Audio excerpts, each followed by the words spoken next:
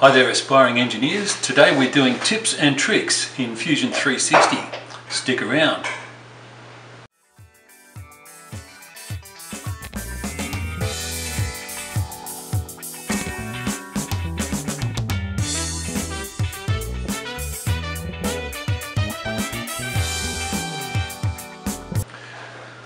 The best time to see this video is after number 3 or number 4 in the 16 part series to learn Fusion 360. It's like having a YouTube course in Fusion 360 for first time beginners.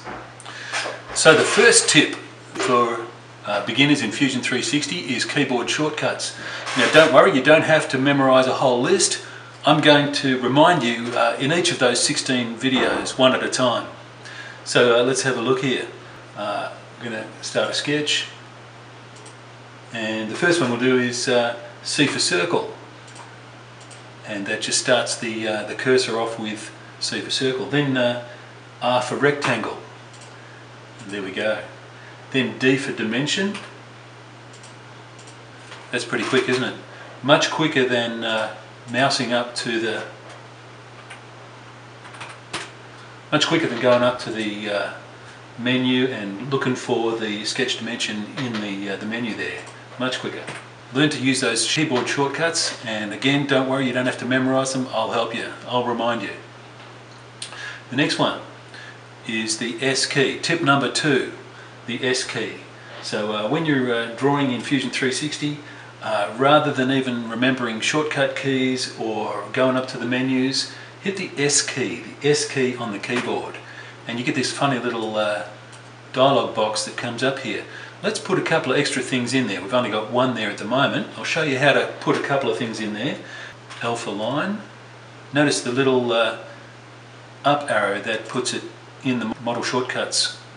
Let's do another one. Let's do uh, REC for rectangle. I like to have that center rectangle in there. Uh, let's do another one. Uh, I like to have that select tool in there. So uh, there's a whole lot of good ones to put in there. So that's how you get them on there. Now let's see how you get them out of there. So uh, as for select, we'll go in there and you see that there's a cross next to the to the item. So you hit the hit the cross and it deletes it out of there. Let's get that uh, rectangle tool out of there, center rectangle.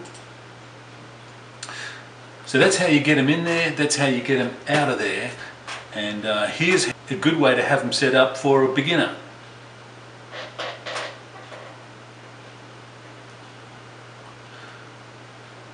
Now, tip number three. Understand the difference between sketches and features. And uh, this will really help for beginners. So here's an example of a sketch. Notice that it's a profile, it's got sketch entities, there are geometric constraints and there are dimensional constraints. This is a sketch, it's two-dimensional and typically what we do is we extrude that. So that's a sketch. Now this is a feature. It's been sketched. It's got some. It's got three dimensions, and the features are usually found on the Create menu or the Modify menu. But uh, this one has a fillet, and the fillet is a feature. Right now, tip number four: understand the difference between geometric and dimensional constraints. So here are some things that I've just drawn here on the on this particular sketch. Now let me show you a couple of things. Uh, you're using the select tool to select the line, hold down the shift key to select the circle, and then in the constraints menu over here look for the tangent button and notice that the line jumps onto the circle, they move together and the constraint icon appears where they're touching. Now that's what we call a, a geometric constraint. Here's another one. I'm going to select not the line but the end of the line here and hold down the shift key to select the end of the next line here and there's a constraint button in there and it's called coincident. Watch what happens to these two points when I press the coincident button. The, the ends of the line jump together. What I'm going to do next is select one of those lines and I'm going to select the horizontal vertical constraint button.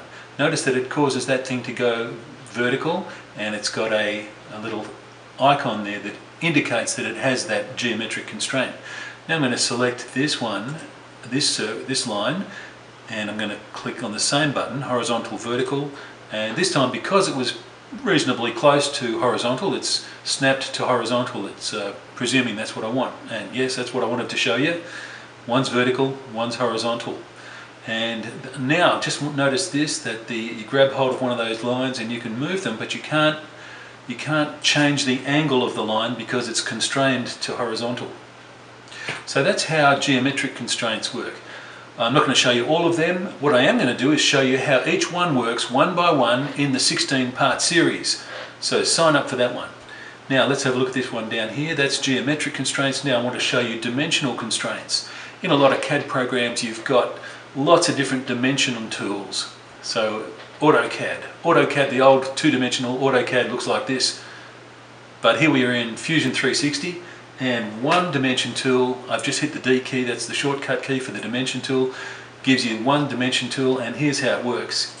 You click on a line, move the mouse sideways, click again and it's got a focused field ready for your input, type in a different number and it changes the dimension as we watch. Now the same tool does arcs and circles. See there's a radius. I'm going to change that to 25, press enter and that updates the sketch.